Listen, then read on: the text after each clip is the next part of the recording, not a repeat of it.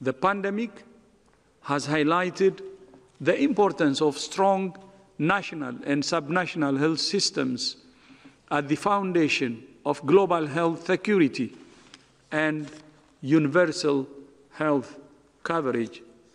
Strong and resilient health systems are the best defense not only against outbreaks and pandemics, but also against the multiple health threats that people around the world face every day.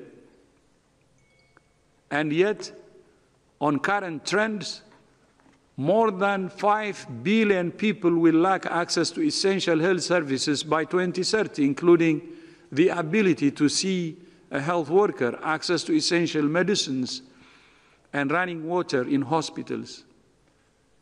Gaps like this don't just undermine the health of individuals, families, and communities, they also put global security and economic development at risk. The world spends around US 7.5 trillion on health each year, almost 10% of global GDP. But the best investments are in promoting health and preventing disease at the primary healthcare level, which will save lives and save money.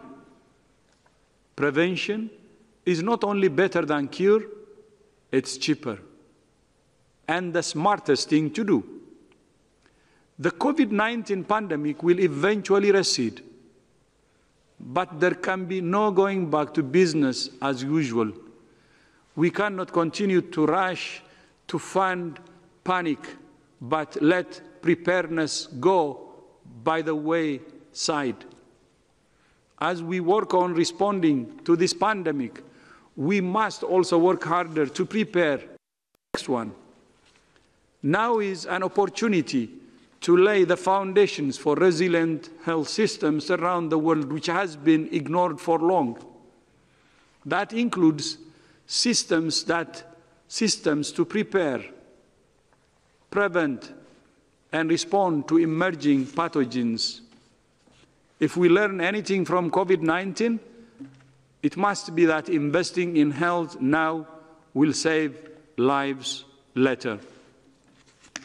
History will judge all of us not only on whether we got through this pandemic, but also on the lessons we learned and the actions we took once it was over.